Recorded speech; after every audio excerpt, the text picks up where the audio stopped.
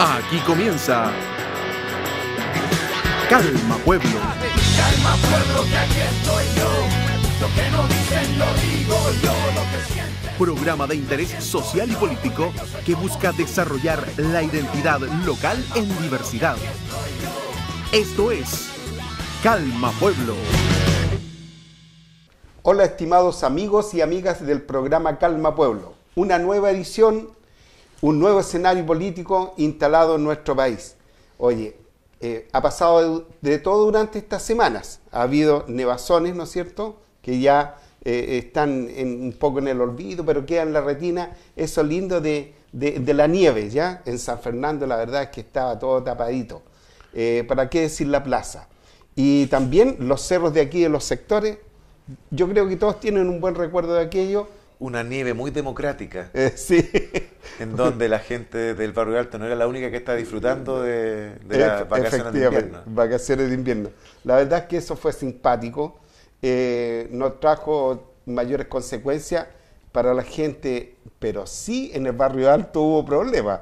Y lo sigue habiendo, ¿ya? Sin duda. Eh, la verdad es que los fríos están instalados, ¿no es cierto? Hay que abrigarse, hay que cuidarse pero ya se avisora por ahí una primavera eh, de, linda, preciosa, porque los aromas, ¿no es cierto?, están amarillitos y están brotando, ¿no es cierto? De hecho, ya están subiendo las temperaturas más altas también. Están subiendo un poquito las temperaturas en la tarde y eso para ustedes, ¿no es cierto?, con mucho cariño. Ojalá que esta primavera sea muy buena para todos. El siglo, ¿qué dice nuestro periódico? Este viernes se instalará la Asamblea Nacional Constituyente en Venezuela. Y la verdad que el tema no es menor. Eh, los 545 miembros escogidos juramentaron y comenzarán a sesionar el 4 de agosto. Eh, Cuba Debates Telesur Caracas dice que el presidente Maduro juramentó este pasado miércoles y la Asamblea Nacional comenzará a sesionar, la cual permanece eh, en condición de desacato, se refiere eh, a la Asamblea Nacional, el Congreso, y tendrá la posibilidad de actuar sobre la base de cuatro instrumentos eh, dentro de los cuales se encuentran los actos y decretos constituyentes que limitan e intervienen a cualquier poder público. La verdad es que esto está muy bueno en el sentido de que usted puede tener una opinión diferente, no al que tiene la prensa, ¿no es cierto?, anti, anti venezolana, en este caso anti Maduro, y aquí puede tener una visión diferente de aquel eh, problemazo, ¿no es cierto?, de eh, democracia en crisis, que es en este minuto la que tiene Venezuela. El siglo dice que el proyecto que despenaliza el aborto fue despachado en el Congreso tras dos años y medio de tramitación y ahora será debatido en Tribunal Constitucional. El debate del proyecto se traslada a este poder del Estado, ¿no es cierto? Hasta donde llegaron este miércoles la presidenta de la UDI, Jacqueline Risenberge, el senador de Renovación Nacional Francisco Chaguán, en representación de 11 parlamentarios, para presentar el recurso con el cual pretenden declarar que la iniciativa va en contra de la Constitución. Este jueves los diputados del conglomerado presentarán otro recurso y la presidenta Bachelet llamó este jueves al Tribunal Constitucional a que escuche la voz de la mayoría cuando revise el proyecto. Eh, en otro aspecto, hay que señalar que mm, el pilar solidario ha otorgado dignidad a los adultos. Eh, hoy se cumplen nueve años de la implementación del pilar solidario, ya el que generó un piso en materia de protección social. Entre otros aspectos, en la parte, mm, eh, diríamos, que tiene que ver con la cultura, el Inti el Inti Gimani eh, entre comillas, de pie cantar 50 años de andar. Es un símil de, de pie luchar que vamos a triunfar. Porque la verdad es que el Inti Gimani ha hecho un tremendo recorrido a través de la historia de nuestro país con su música, influenciando, ¿no cierto?, a, a, cientos de generaciones, haciéndolos bailar, haciéndolos cantar y haciéndolos vivir. Esta es la realidad de nuestro país.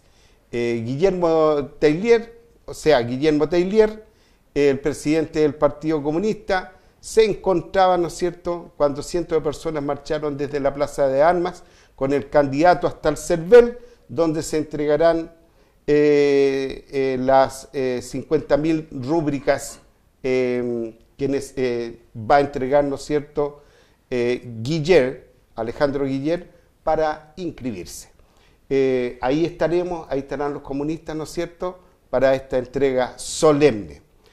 Eh, la verdad es que pueden ser más o pueden ser menos. Recuerden que las firmas a veces suelen ser eh, rechazadas, pero eh, se ha hecho un trabajo exhaustivo en ese sentido para que esté este candidato a pie firme. ¿Y qué dice el video, estimado? vamos a verlo. Es, algo curioso en todo caso, porque es ver a, a Beatriz Sánchez con Fernando Pausen haciendo una entrevista a Alejandro Guiller. Ah, ya. Calma pueblo. entrevista. Calma pueblo. No sé, yo, no tengo encuestas propias. Todas las encuestas que se hacen en Chile, con, creo que una excepción, son todas uso político. Te ponen nombre, te sacan nombre, te suben candidatos, cambian la formación política. O sea, intencionalidad en las encuestas. Absolutamente. las encuestas en Chile son instrumentos de la política. Cuando el candidato no va bien, que están respaldando las encuestas, se posterga, se cambian los criterios de hacer las preguntas, se cambian los cruces y se muestra lo que se quiere mostrar porque son instrumentos de propaganda. Por lo tanto, si tú te vas a basar en la encuesta, vas a caer en el juego de quienes manipulan las encuestas para hacer política. Ahora, las encuestas igual te favorecieron. De todas maneras, más de lo que uno quisiera, de pronto. Eh, yo creo que el tema es que en Chile no hay transparencia en, el tema de las encuestas porque no son encuestas eh, profesionales como en Estados Unidos que miden pero con precisión, sino que son encuestas hechas con objetivo de ser parte de la política. Eh, si tú te vas a desmoralizar, por lo tanto, por eso, estás perdido nomás. Ahora, sí siento yo en la piel, porque yo tengo más intuición, que no fue un buen verano para el oficialismo. El manejo del incendio, sobre todo al comienzo, o eh, este cuadro de desorientación que pareciera haber en la, coalición gobernante y su desencuentro con el gobierno, evidentemente que no marcan un buen momento. una vez que se ordene todo el cuadro, yo creo que esto debería empezar a, mejorar. Alejandro, ha, surgido, eh, bueno, como casi como un concepto ancla, esta idea de que tú no tienes ideas. Mm. Eh, de que tú no tienes proposiciones para distintas cosas, de que respecto de las AFP no has presentado un plan completo respecto de qué hacer con las AFP, o de las ISAPRE un plan completo de, qué hacer con las ISAPRE. Y eso se... ¿Hay alguien que lo haya presentado todo esto? No, no, mi pregunta, sí, espérate. Primero pregunto, porque a mí me exigían cuando yo ni siquiera era candidato, pero Guillén no tiene programa. Bueno, pues sí, no es candidato.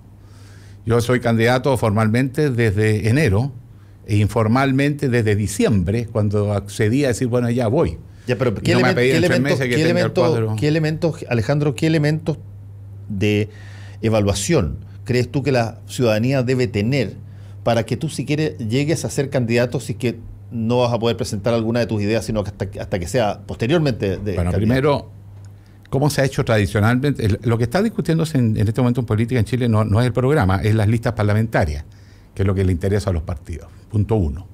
El programa lo que van a hacer es mandárselo a un grupo especialista que redacten un documento que una vez conocido nadie va a preguntar más sobre él. Pero en el caso mío lo han usado como una especie de elemento, es decir, no sabemos quién es Guille. Perdóname, yo llevo 25 años en los medios de comunicación comentando todos los días, toda la semana, en radio y en televisión, mis opiniones del humano y lo divino. Así que nadie puede decir que no conocen mis opiniones. Pueden estar en desacuerdo. Pero mira la paradoja, dicen, Guille no tiene ideas, Guille es populista. ¿Qué significa populista? Que propone ideas que son imposibles de cumplir. ¿No es cierto? Que son para congraciarse con la gente. Bueno, ¿cómo puedes ser populista si no has dado tus ideas? O sea, es contradictoria la, la crítica que se hace.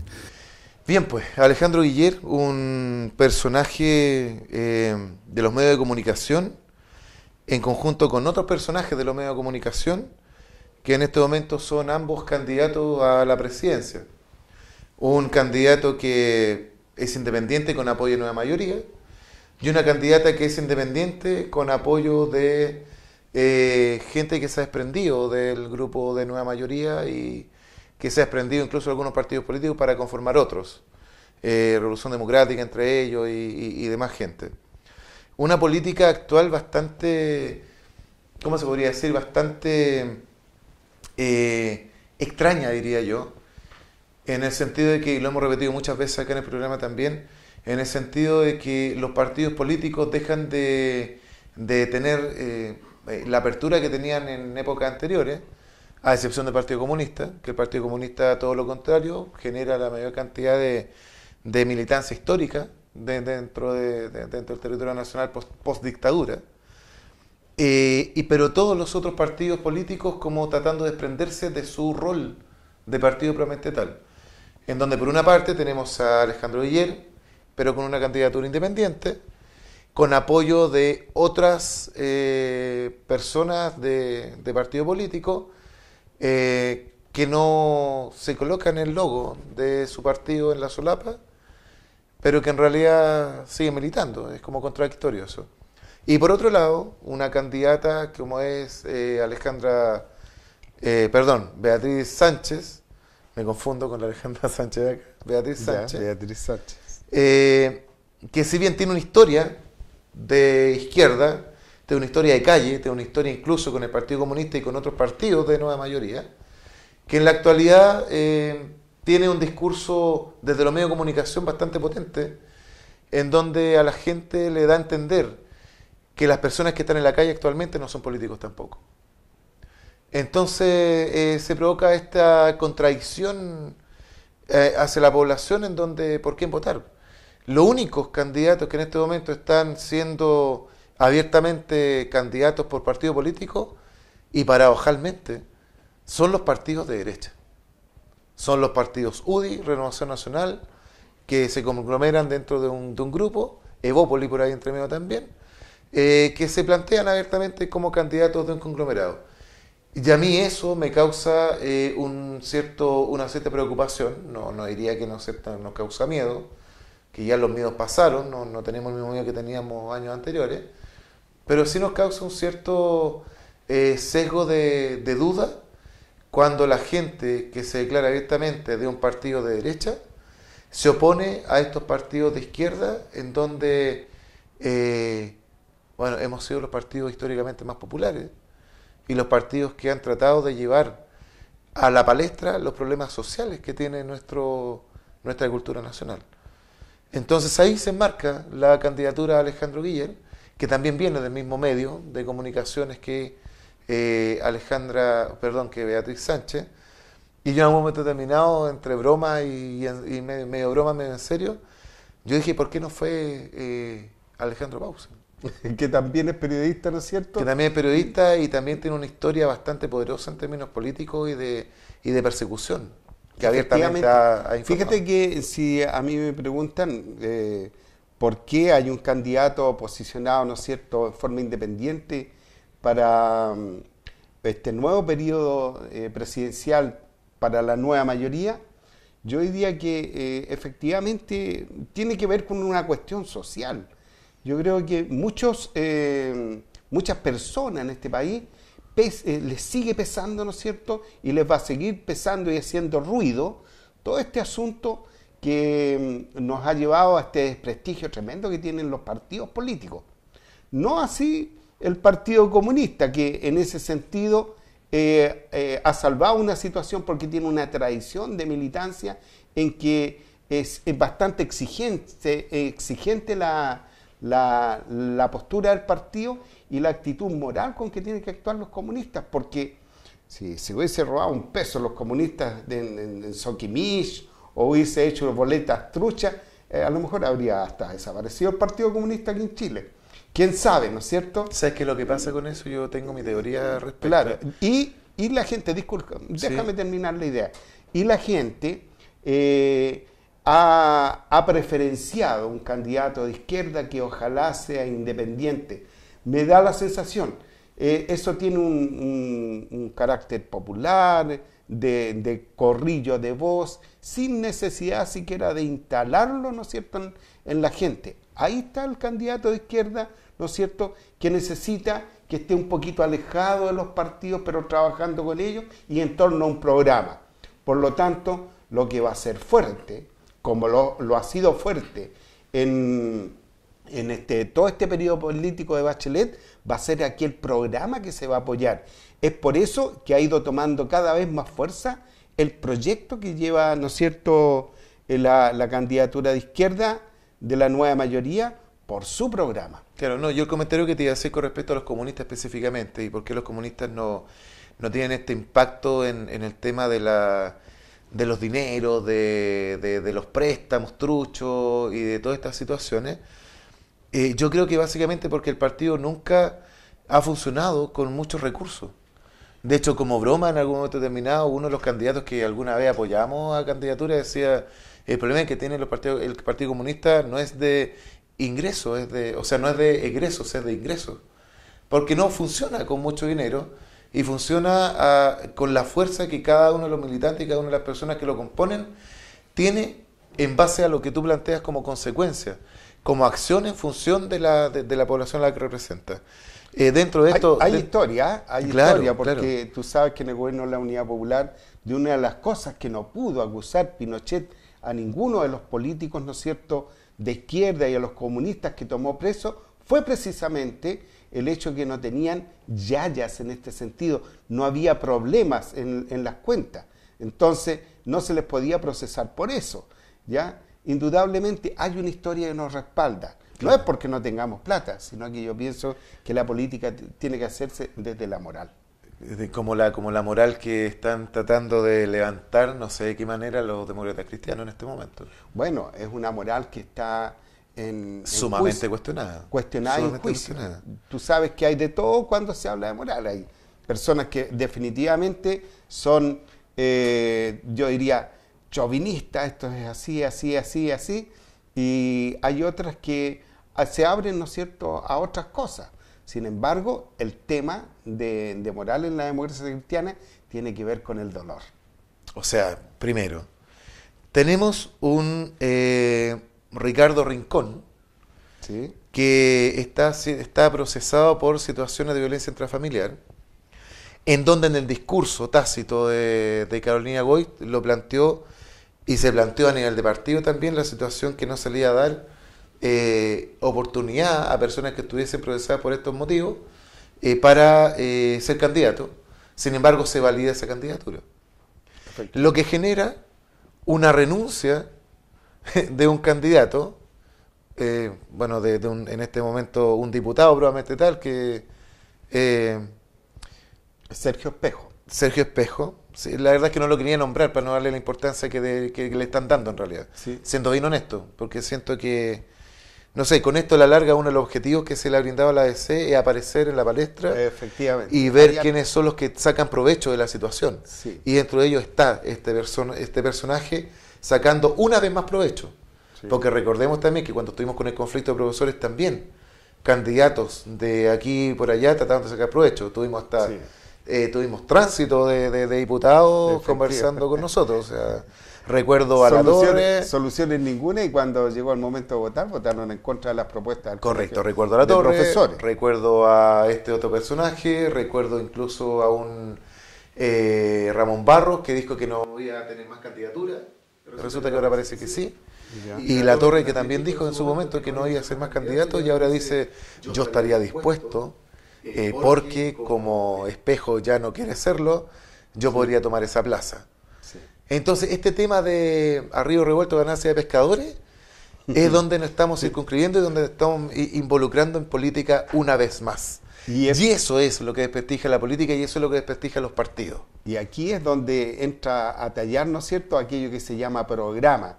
Un programa, ¿no es cierto?, permite a la gente tener claridad sobre lo que va a ser un candidato a futuro.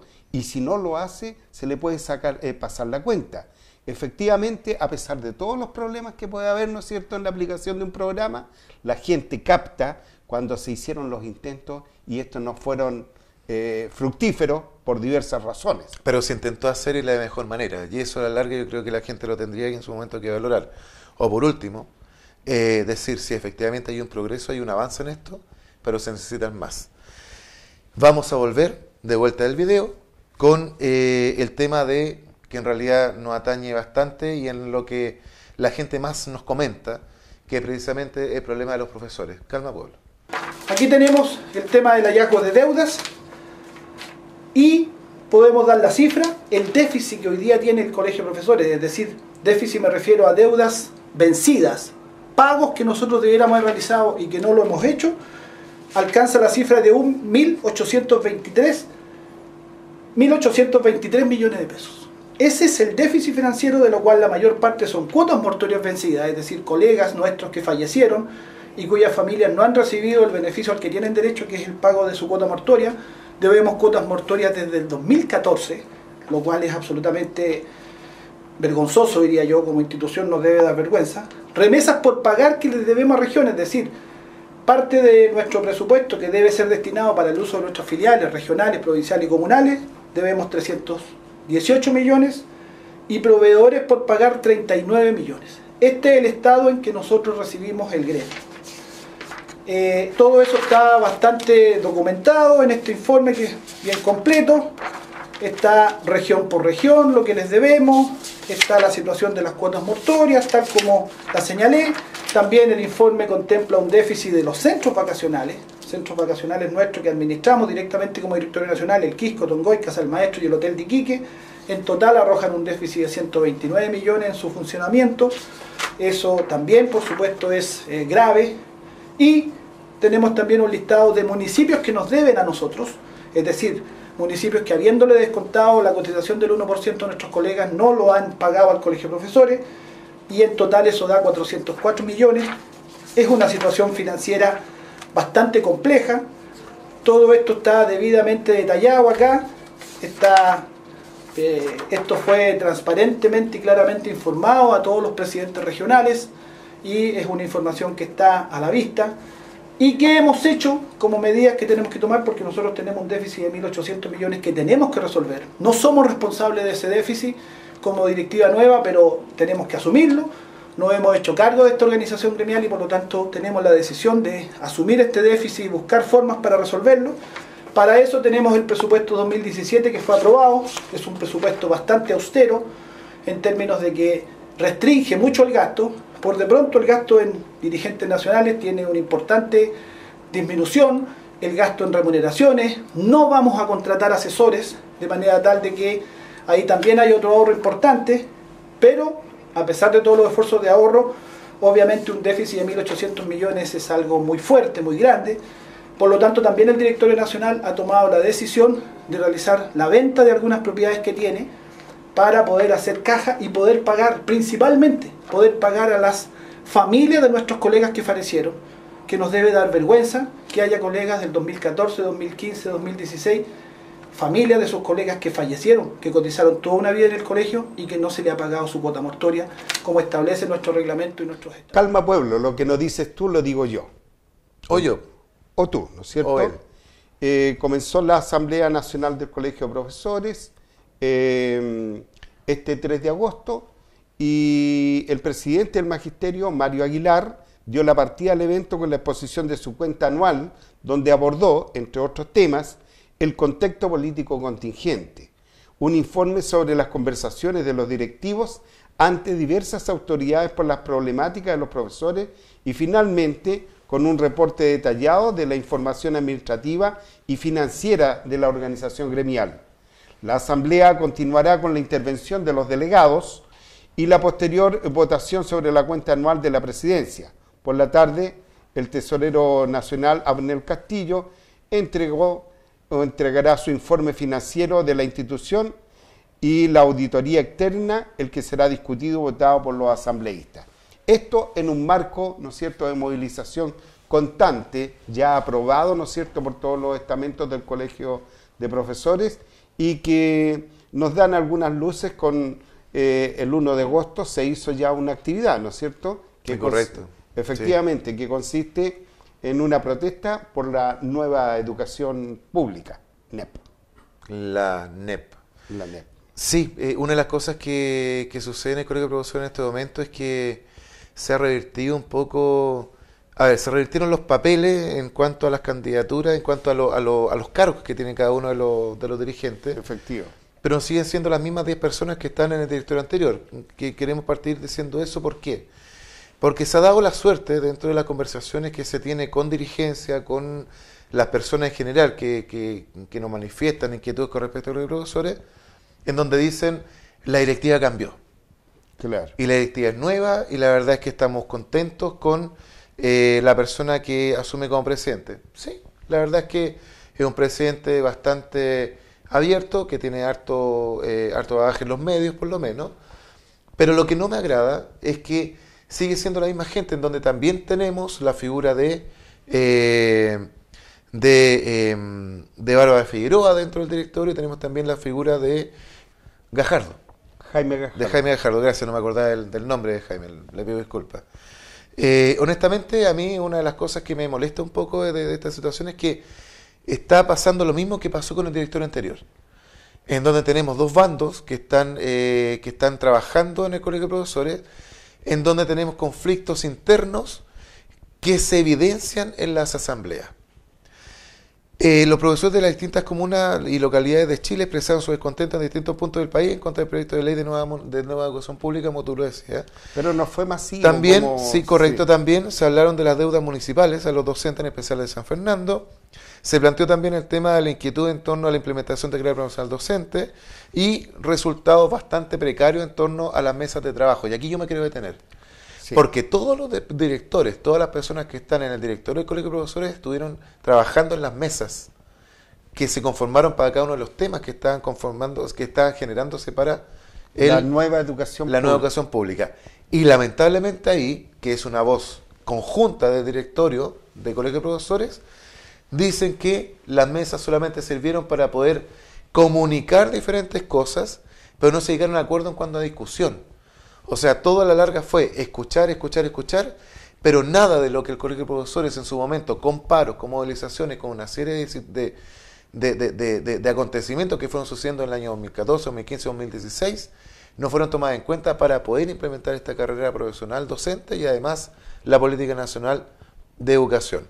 Si bien es un avance, pero volvemos a caer en el mismo juego este de las eh, negociaciones no negociadas, por así decirlo. Claro, y descalificaciones. Y descalificación además, Porque se ha descalificado la mayor parte del proyecto, así, en su totalidad, como paquete. Y la verdad es que eh, eh, se estaba luchando por más de 26 años por una eh, nueva carrera profesional docente. Evidentemente no salió como nosotros esperábamos los, los profesores, pero sí evidenciamos que hay ciertos avances. Efectivamente, hoy día un profesor sabe que tiene una carrera y que puede progresar en ella. Hace dos años, tres años atrás, efectivamente, aunque había, ¿no es cierto?, eh, eh, voucher para subir el sueldo y todo eso, hoy día sabemos que existe una carrera. Y, y seguramente esta tendrá que perfeccionarse, tendrá que de alguna manera ir mejorando aún más la situación de los profesores. Además, aparte, ¿no es cierto?, de que se sabe, ¿no es cierto?, que si se va avanzando en los tramos de esta carrera, se va a ir ganando un poco más de dinero. Eh, efectivo, eso es efectivo, es decir, también tiene un tope, ¿ya? Hoy día gira en torno a los cuántos millones? Eh, podría llegar al nivel de los 2 millones y medio aproximadamente. Una persona de un excelencia, experto, ¿no experto claro. Una persona de excelencia, experto 2. Las hay, ¿ya? Aunque usted no lo crea, existen esas personas dentro de- del magisterio que tienen esa condición hoy día en la comuna de Santa Cruz. Y un saludo a ellos, ¿no es cierto?, porque han hecho un esfuerzo importante para lograr ese sitial. Y todos los demás estamos combinados, ¿no es cierto?, en una suerte de eh, competencia, ya que esto es lo que se reclama Y sigue siendo el mismo modelo que teníamos que, antes. por lo que demás. sigue siendo el mismo modelo que tenemos, eh, teníamos antes de la competencia. Y la verdad es que esto para los ojos del común de la gente no es muy comprensible.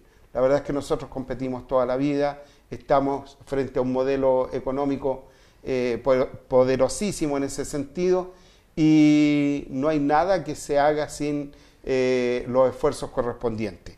Yo creo que cuando se dice que queremos educación de calidad, también queremos, ¿no es cierto?, sueldos de calidad, ¿ya? Queremos que se nos paguen las deudas. Y ahí sí que eh, hay que poner el hincapié fuertemente porque no son pocas las deudas eh, hacia los profesores. Y que, se respete, y que se respeten las leyes que están eh, generadas para poder mejorar condiciones laborales de los profesores. Tenemos muchos temas que todavía siguen dando vuelta, que tienen que ver con el proceso de agobio laboral, que sigue siendo, en este momento están funcionando con 70-30, pero en realidad en la práctica no es tan efectivo. Claro. Eh, para progresar 60-40 tendríamos que mejorar y regular de mejor manera esta situación, que tiene que ver también con caracteres de, tipo economicista dentro de los colegios, en función de la cantidad de docentes que tendrían que, estar versus eh, la cantidad de trabajo que, que, cada uno de los docentes se llega consigo. Tenemos también todavía el, gran problema de, de, una, de una política nacional eh, educacional que sigue basándose en tres, tres tipos de, de colegio, que es el particular sancionado, eh, particular y, público, en donde todavía el, traspaso hacia, hacia el nuevo modelo que se quiere implementar está, está ahí medio dubitativo. Medio postergado. Eh, y la verdad es que da pie para poder tener una discusión a nivel de, de, los municipios eh, con los profesores, con las personas que eh, estamos cotidianamente trabajando dentro de los colegios. Tenemos un problema interno también, por supuesto, dentro del colegio de profesores, en donde cada vez es menos gente la que se incorpora al colegio de profesores y más la gente que eh, son estos que llamamos habitualmente los no colegiados. la gran mayoría de los docentes que ingresan al sistema eh, no ingresan con, esta, con este baje histórico que nosotros tuvimos, en donde fuimos tan, fue tan cuestionado la organización y fue tan, eh, tan censurado pertenecer a un sindicato o a un gremio. Em, sin embargo, en otras carreras profesionales, pertenecer a un gremio es casi un honor. Y yo en este caso siento que es un gran honor pertenecer al Colegio de Profesores, fíjate, a este gremio que eh, la historia hace ver que ha sido el único en toda la historia que se ha preocupado de los sueldos de profesores que están colegiados y que no lo están.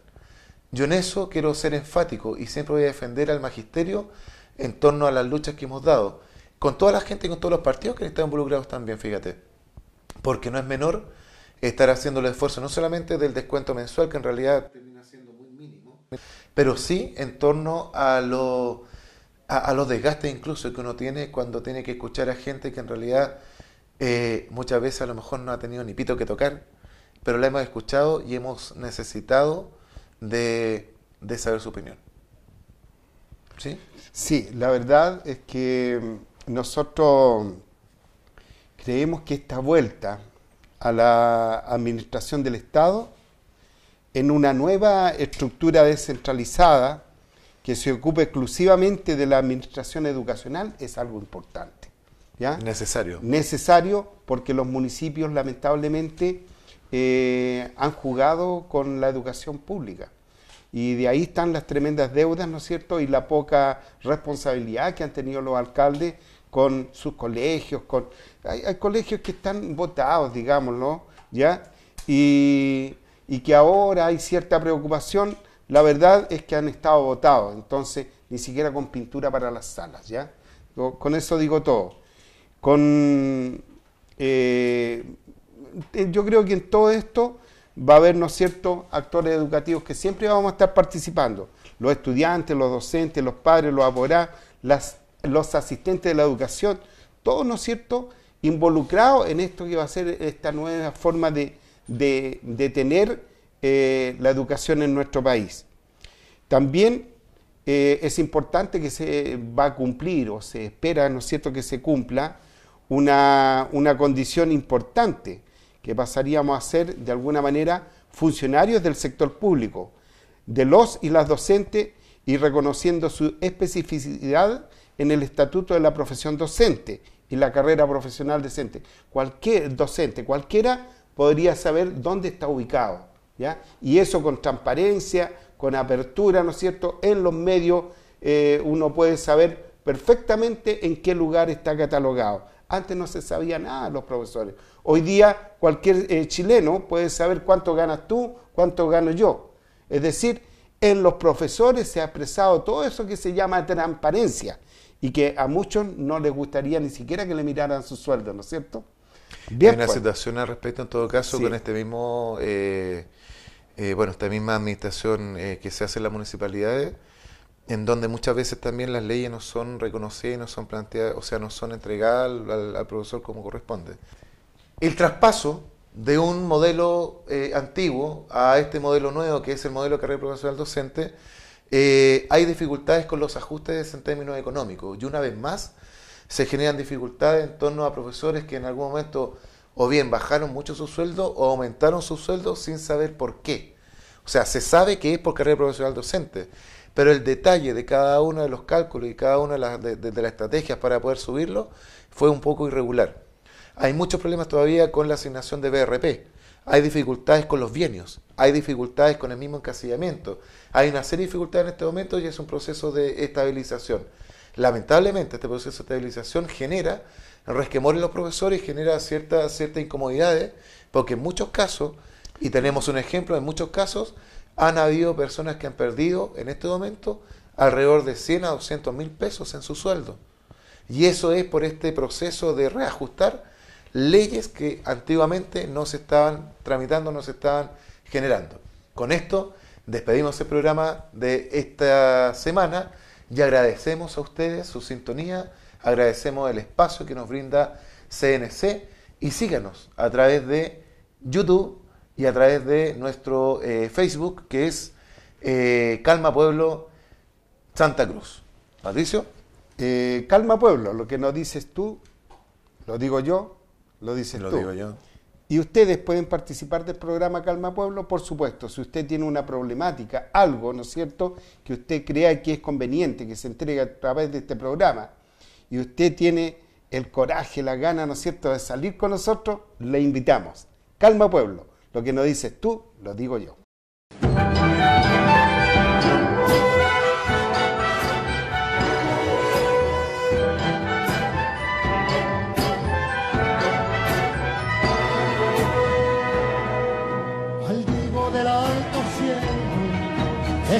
Con su reflejo, maldigo los azules, destellos del arroyuelo. Maldigo del alto suelo, la piedra con su contorno, maldigo el fuego del horno, porque mi alma está de luto. Maldigo los estatutos con sus bochornos, cuánto será mi dolor.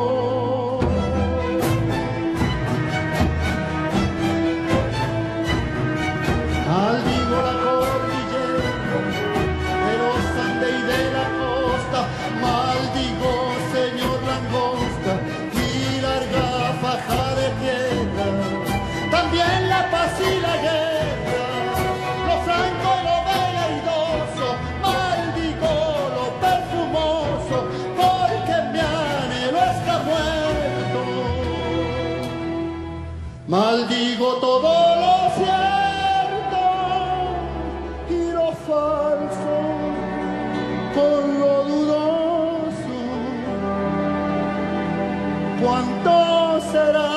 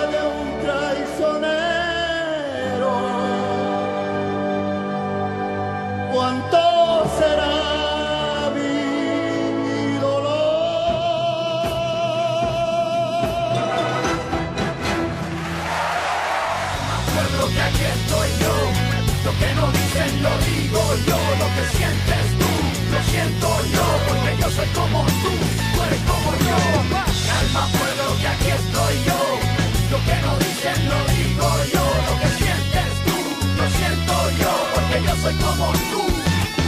A ti te ofende lo que escribo, a mí me ofende tu playback, que estés doblando en vivo, a mí me ofende cuando tú sobornas a la radio.